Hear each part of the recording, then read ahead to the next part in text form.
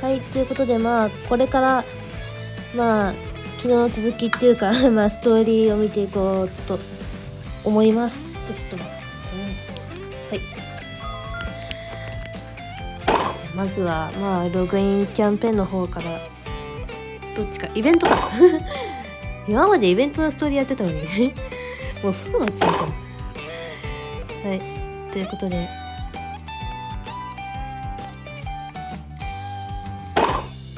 あーなるほど日が中か。カイ君口の端に青のりがついてますよ。ということは焼きそば食べたのかな？おそらく。真剣？さっき屋台の焼きそば食べたからかや。あー予想当たったわ。まったく気をつけなさいよ気をつけなさいって言われましても今何やってるところなんこれ？今日は特に一般のお客さんが多いんですから。みっともないところは見せないように。あー確かになんか青のり口とかについてたらなんかはずいもんな。わかってるって。分かってんならまあよろしい。ところで来てやもここに来る前に何か食べた？見回りの後に小腹が空いたのでクレープを食べましたが それが何か？え逆に来てさクレープ食べたの？クリームとかついてないよね？口元にクリームついてるからよ。これも予想当たったわ。もうお互い様じゃん。気をつけるのはお互いにでしたね。そうだね。まあこうなってきたらな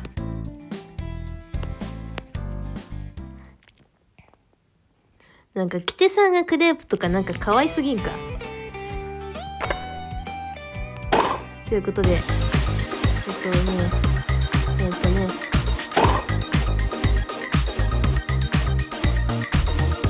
まあグループ6の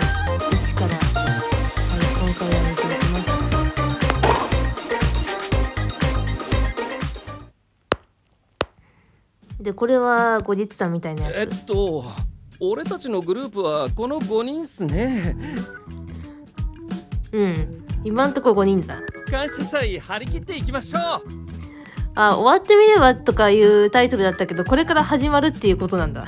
よろしく頼む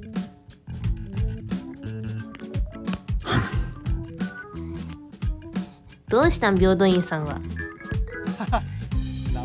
緊張するなうん、確かになんかこういう時、ちょっと緊張するよね。なんか、わかる気がします。っていうかなんで桃城が仕切ってんねんまあ、そう思わなくもないよね。感謝祭実行委員としてなんとなくいや、そんな、張り切りすぎなくてもええねんね、ほんまに。なんとなく そう、なんとなくっていうのがちょっとね、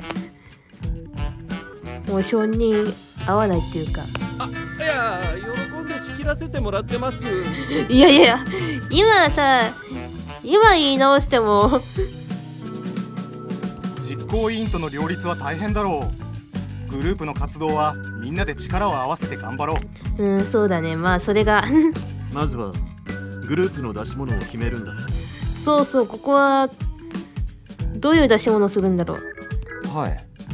定番やけど屋台とかどうですか？え、屋台？なんか、四天王寺の先輩らに何やるか聞いたら意外と屋台やるとこ少ないみたいなんで。へえ、そうなんだ。俺はいいと思うけど先輩たちはどう思います？うん、確かにまあ、いい案だとは思うけど、屋台って言っても、どんなの売るの？構わんお前らの好きに決めろ。好きに決めろって言われてもね。屋台にもいろいろあると思うが他のグループと被らないだろうか。確かたこ焼きがかぶるんだよね。うん。だとしたらなんやろ。そうですね。東方仲間も何か屋台を予定してるのは聞いてるんですけど。